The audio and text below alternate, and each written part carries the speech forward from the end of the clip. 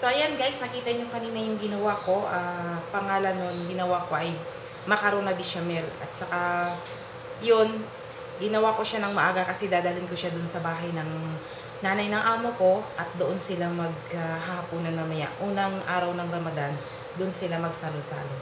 So, ito guys, ang dadalhin ko. Ayan yung macarona kanina na ginawa ko. At saka, kasama ko dun. Ayan, may mga sambusa na dito at saka salatana sa ilalim. So, ngayon, nagre-ready na ako. Tinday ko na lang yung driver para alis kaming dalawa. Mauna akong pupunta doon sa nanay kasi marami pang gagawin doon. So, let's go guys. Samahan niyo ako. So guys, nandito na ako sa sasakyan kasi paalis na kami ng driver. Yun ang driver ko. Nasaan na ba siya? Papunta sa bahay ng nanay ng amo ko. So, doon na naman ako maraming gagawin. Doon ko ipagpatuloy ang aking gawain. So, let's go guys. Alis na kami.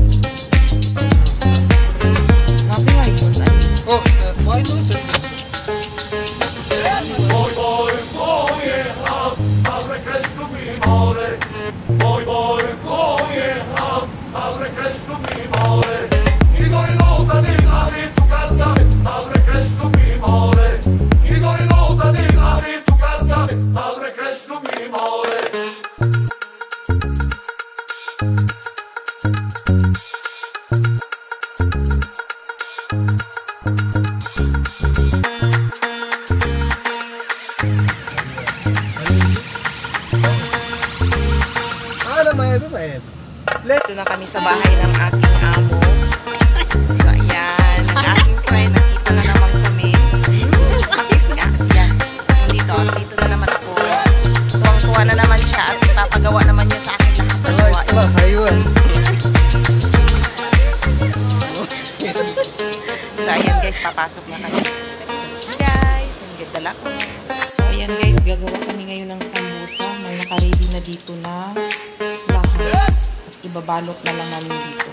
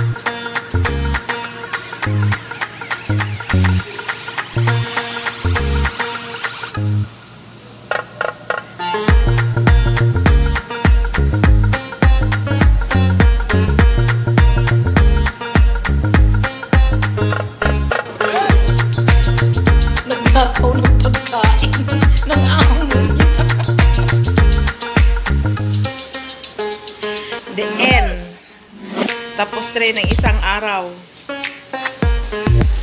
Nakaraos ng isang araw na Ramadan. Yan. Pangalawang ligpit na to. Tapos na yung una naming ligpit. Hello guys! Ayan guys, natapos din ang aming one day Ramadan. Unang Ramadan. Yun, um, ito na lang huli, yung minuhugasan namin yung kusina. Pero nandito ako sa bahay ng nanay. Wala ako dun sa bahay ng amo ko. Hindi ko alam kung ano nangyari din sa bahay ng amo ko. Pero hindi na kami nagluto dun eh. So bukas, doon na naman ako sa bahay namin. Ayan. Ito na lang. So, hanggang dito na lang ang aking video guys. At sana nag-enjoy kayo sa aming unang Ramadan ng aking kaibigan. Oh, mag-hi ka naman. Hi! Hi! Hanggang dito na lang. Bye-bye!